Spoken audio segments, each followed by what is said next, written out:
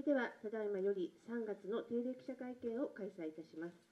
本日行われました町議部長会議の結果につきまして、佐藤市長から発表いたします。はいそれではよろしくお願いします。まず第10次高齢者保健福祉計画第9期介護保険事業計画についてでありますが、本計画は高齢者が住み慣れた地域で安心して自立した生活を送ることができる笑顔あふれる長寿社会の実現に向け策定するものであり、特徴といたしましては、高齢者を取り巻く問題の複雑化、複合化など、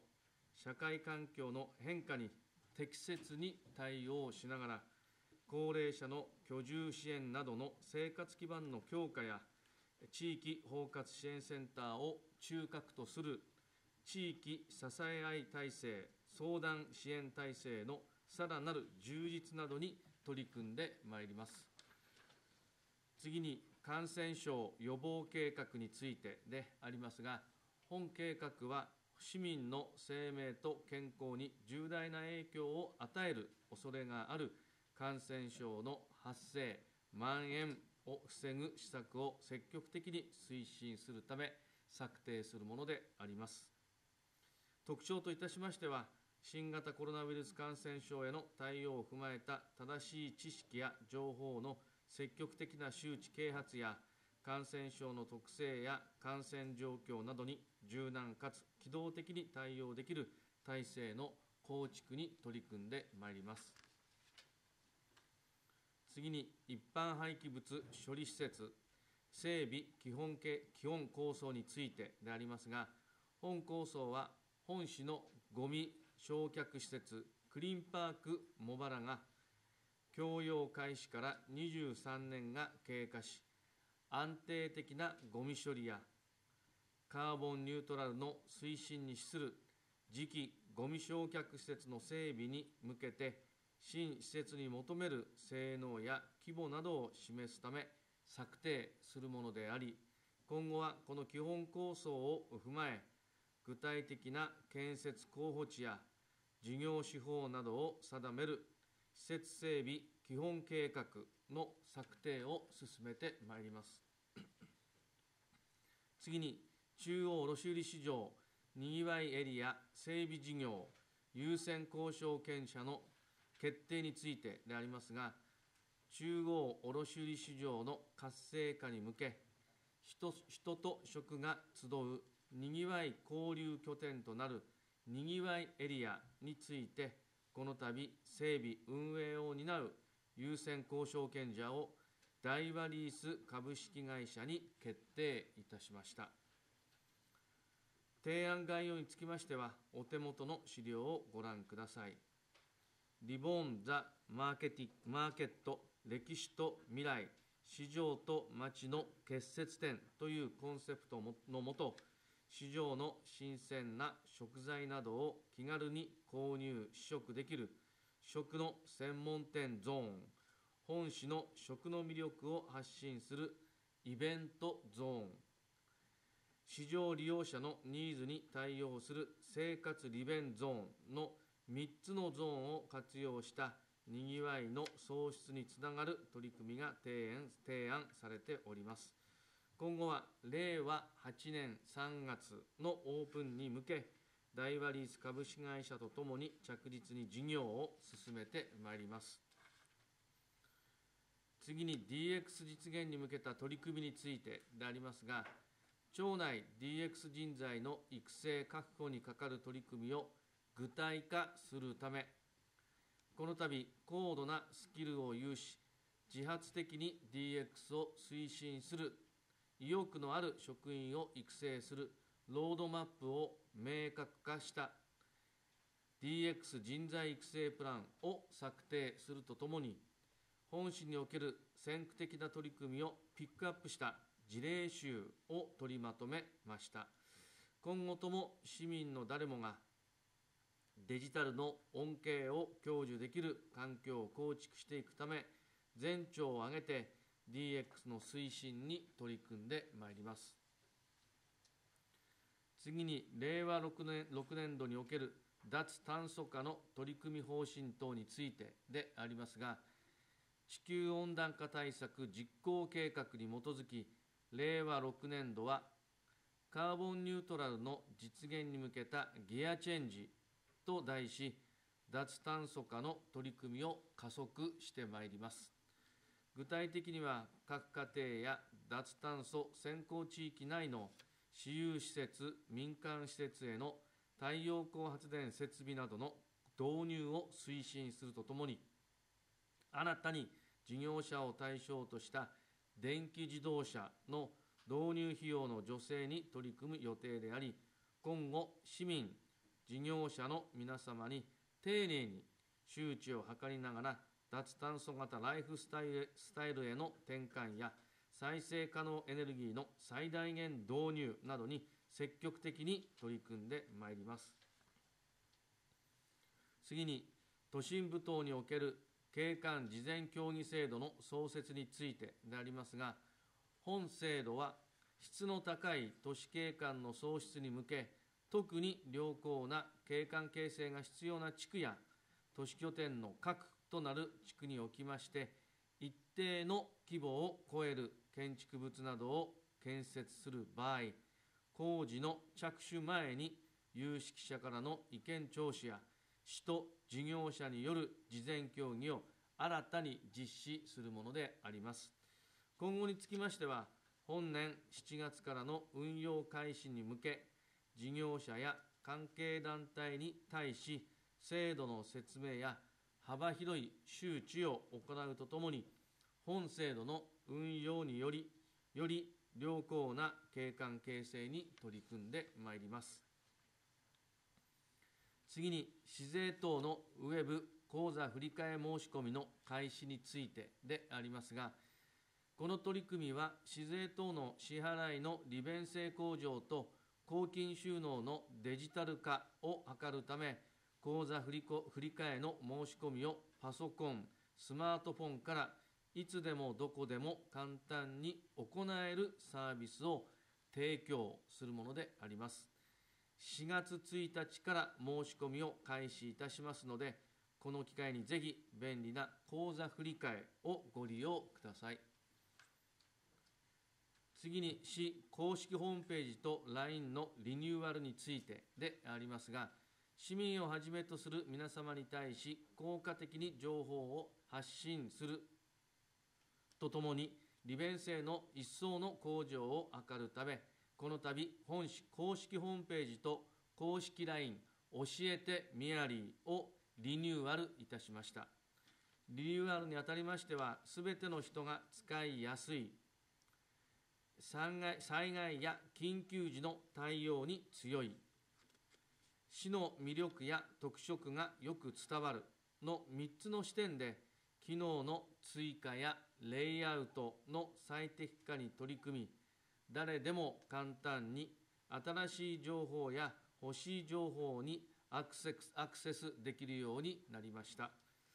また、ホームページにはこの度新たにミヤユースポイント、ミヤユースポストととして、えー、若者からの意見専用の入り口を設置いたしました。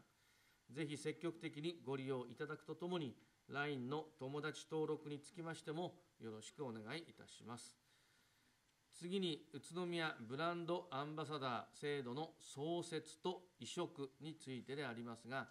本市の魅力をより戦略的、効果的に発信するため、この度、ブランド戦略に対するアドバイスや活動を通じたプロモーションなどを実施していただく宇都宮ブランドアンバサダー制度を創設いたしました。またその第一号として、本市のご出身であり、雑誌団中編集部長の上野康生さんにご就任いただきました。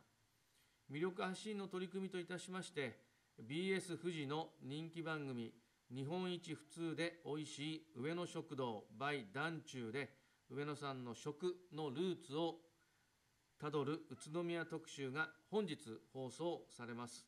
番組配信サービスでも視聴できますので、ぜひご覧ください。次に、男女共同参画推進リーダーの設置についてでありますが、この取り組みは性別にかかわらず、個性と能力を発揮し、活躍できる社会づくりに向けて、さまざまな分野における男女共同参画を一層推進するため、部局内の施策、事業の把握や全体調整を行う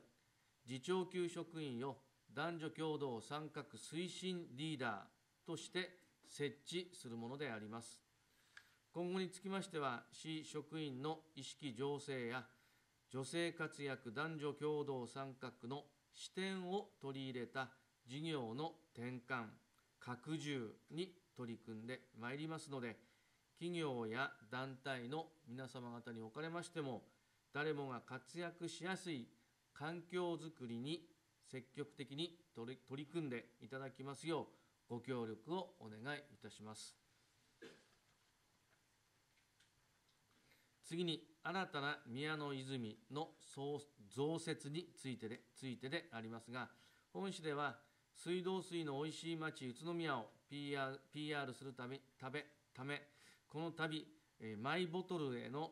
給水が可能な宮の泉を新たにオリオンスクエアに設置するとともに、子どもたちに本市のおいしい水道水に愛着を持ってもらえるよう、小学校3校において、学校版宮の泉の取り組みを試行的に実施いたします。学校版宮の泉は、気温によらず、いつでも冷たくておいしい水を飲める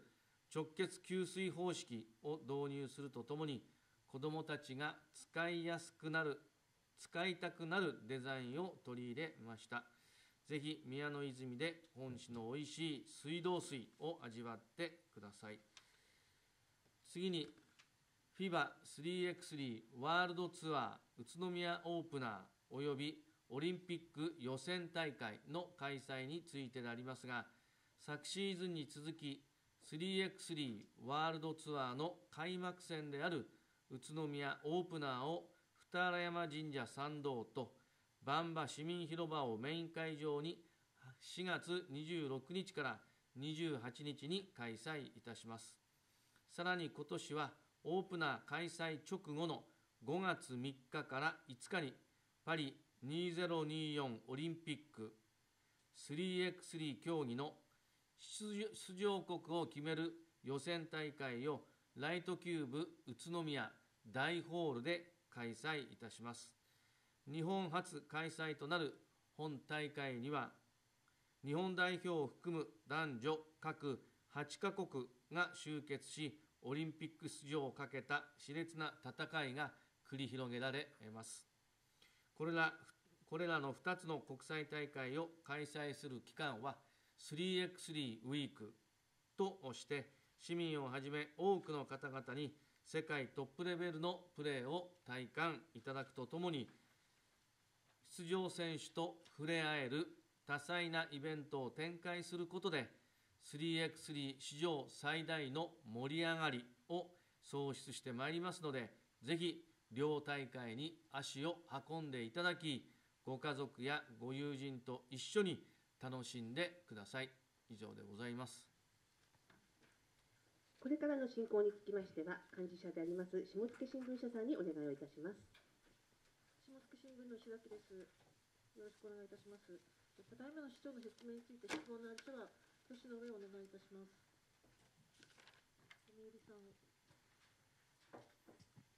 読売新聞の井上です。ご説明ありがとうございました。えっと、最後の、えっと、3x3 について伺いたいんですけども、今市長もおっしゃったようにあの史上最大の盛り上げをそうしとおっしゃっていただいたんですけど改めてあの市長の、まあ、この大会、まあ、この期間に関しての、まあ、意気込みというか、まあ、期待感どんな大会になってほしいかというお考えを伺えますでしょうか？まずあの4月のオープナーでありますけれども、まあ、ファイナルを経験させていただいたり、大変 FIBA から信頼をいただいて、この大会を毎年設営、運営してまいりました。東京オリンピックでは、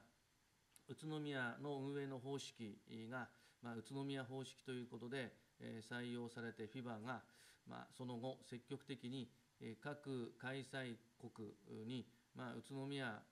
方式でまた宇都宮を見習って大会運営をするべきだと、まあ、そういったことまで言っていただきそして、えファイナルも大事だけども開幕となるこのオープナーこれをしっかり全世界に発信することこれもファイナルと同等あるいはそれ以上に重要ではないかということでえ FIBA がその考え方のもと宇都宮にこのオープナーをえ依頼をされてこられました、まあ、それからの、まあ、オープナー開催でありますので、まあ、その FIBA の期待に応えることそのためにもしっかりと成功させなくてはなりませんし、3x3 バスケットボールの魅力というものを一人一スポーツを歌う、まあ、スポーツを推進する宇都宮にしてもまた経済的な大きな波及効果を生み出すこの世界的なイベントを成功させていきたいと考えています。またパリ2024の出力を決める5月の 3x3 でありますけども、まあ、日本で初めてという開催これをわざわざ宇都宮で開催をさせていただけると、まあ、そういうことになりましたのでこれも合わせて、まあ、期待を裏切らないようにそして全世界が注目をされていて出場国が出場国が決まった瞬間、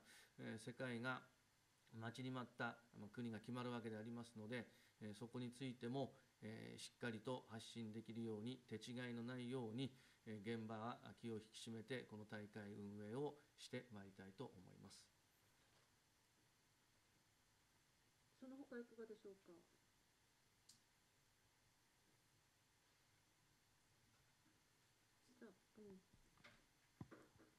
下野新聞の亀井です。よろしくお願いします。えっと、クリーンパーク茂原の整備構想についてお伺いします。えっと、この茂原はあの火災があって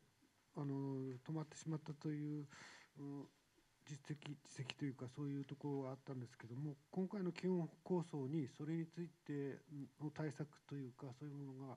組み込まれているのかというところとあと、う、こんこんあと14ページのあの処理能力330から370トンに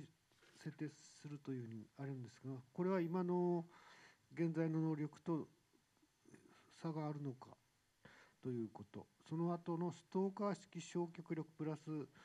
廃溶解という含み6方式というのがあるんですけどもこの、うん方式をちょっと説明していただきたいなと思う思います。それとあとう場所は今のところにまだ決まってはいないかとは思うんですけれども今のところも含めてということかどうかをお伺いしたいと思います。よろしくお願いします。はい、まずあの過去の災害等を踏まえてということでありますけれども、まあ、それらあるいは今までの実績の中で、えー市が経験してきたこと、えー特に安全安心な面、そういったものでは当然その計画の中にはしっかりと落とし込んで対応してまいりたいと思います。より精度の良いそして安全安心で効率のいいもの、まあ、そういうものをしっかりと設置していきたいと考えています。あと、能力の差とストーカー方式、でしたかでしたか、それの説明、それと場所ですね、これは所管から。えー廃棄物施設課長の吉岡です。よろしくお願いします。えっ、とまずあのえ火災対策先ほど市長の方からお答えした通りでございます。えー次に能力でございますが、えー現行の茂原に関しては1日390トン、えー処理することが可能ですので、まあ若干それよりは下がるまあですが、あのまあそれに近いものを備えている以降と考えております。でまたあの方式ですが、これはあの現行のストーカー炉焼却あの茂原に関してはストーカー炉式焼却炉という、まあ、ゴミをこうベルトコンベヤーみたいなもので送ってあの燃やしているんですが、まあ、それにあの廃余裕の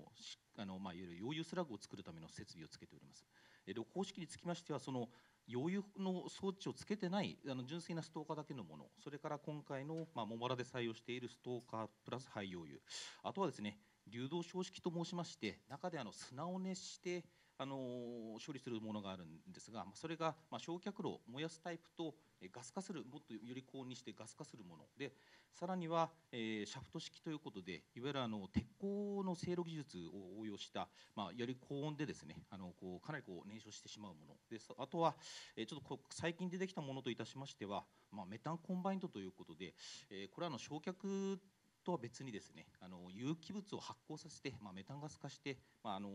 エネルギー回収などをやりながら処理していこうということであの、まあ、建設実績があるものから、まあ、ちょっと、絞り込みを行いまして、まあ、この6方式をさらに比較検討していくということで考えております。で続きまして場所に関しては、えー現行まだあの確定はしておりませんが、まあ、現在のクリーンパーク茂原が、まあ、市の南部をカバーしていることを考えますと、まあ、市の南部のところから、まあ、あの候補地を絞っていくということになるかと思います。以上でございます。あの現在の場所を壊して建てるということもあり得るんですか？はい、えー、ただいまのご質問ですが、はい、あの現地改築も含めた、えー検討をしていくことになるかと思います。はい、ありがとうございました。その他いかがでしょうか。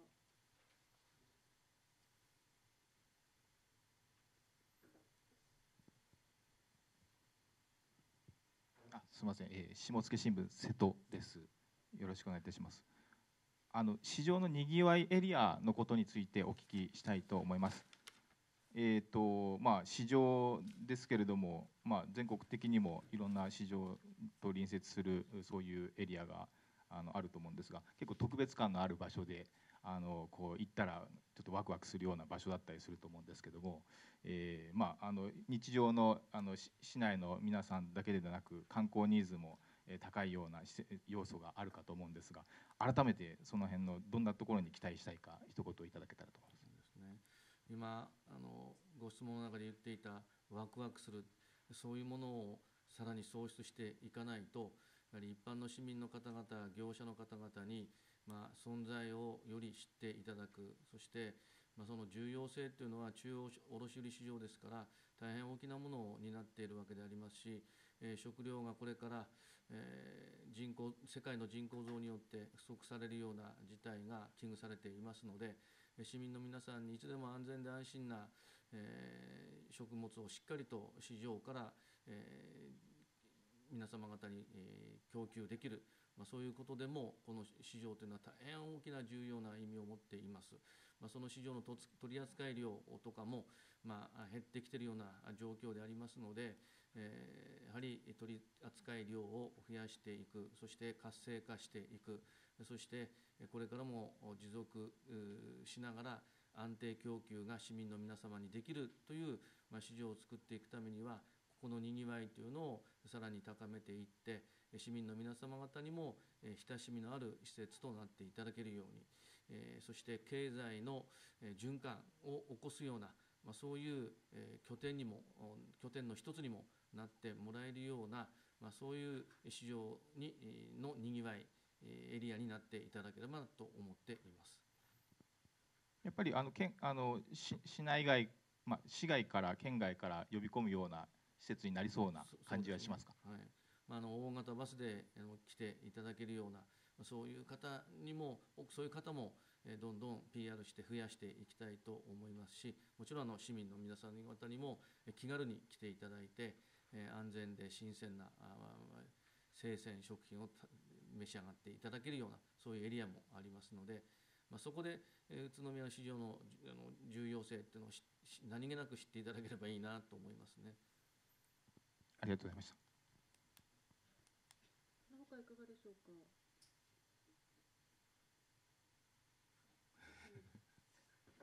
食べ食べ申し訳ございません。あのえっと 3x3 でもう一点だけすみません伺いたいんですけども、えっと2023年のあのオープナーでは、えー来場者が7万人で、えー最えー経済効果が最高額の5億8600万円ほどだったと思うんですけど、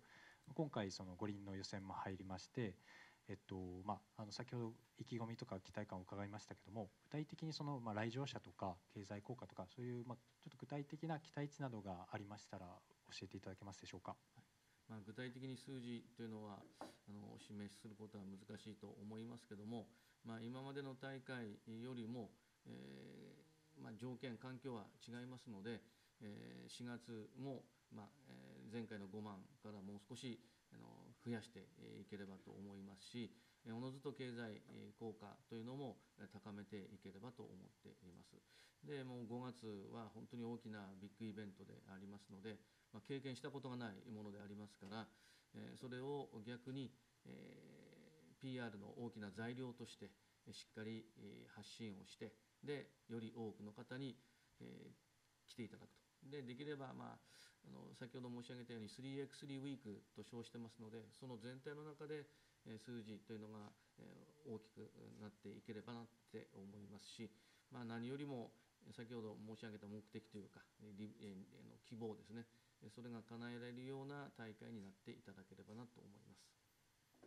りがとうございます。その他いかがでしょうか？よろしいでしょうか。では、あの説明事項以外のところで、えー、監視者から1点質問いたします。と次期市長選に対するお考えについてお尋ねします。えー、これまで市長はですね、えー、予算の査定などに注力するというようなあのお考えを示してきました。えーと新年度の当初予算案は先日の機会で、えー、可決されましたが、改めて現時点での今後の進展についてのお考えを聞かせてください。まあ、まずは予算を作り、そしてそれをご承認いただいて、新年度の予算としてスタートができるというお話をさせていただきましたが、まあ、まだまだ気が抜けない事業が目白押しでありますので、ただし、え、周りの方、まあ、この市政はあの連綿と続いて、えいるわけでありますので、え市政やまた周りの方々に迷惑がかからないように、えー、しっかりと明言するべき時時というのは見極めて発信、えー、皆様方に公表してまいりたいと思います。明言の時期というのはいつぐらいまでのことをこうイメージすればよろしいでしょうか？まあ皆さんの迷惑かからないように早すぎてもダメでしょうし遅すぎると、えー、また困るでしょうからね。はい、はい、すいません。その他はいかがでしょうか？